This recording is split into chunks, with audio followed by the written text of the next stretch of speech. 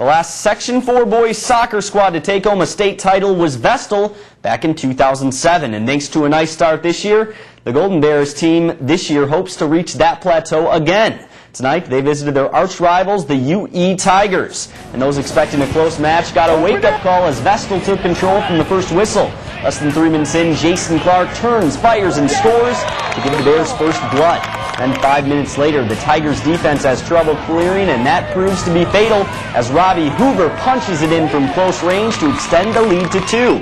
At the 30-minute mark, Nate Ecamano gets some change and dials long distance. That's just brilliant, and it makes the score 3-0 Golden Bears. How about some more just for kicks? Here's Hoover crossing in his second goal of the game, and Vestal goes on to blank UE 6-0.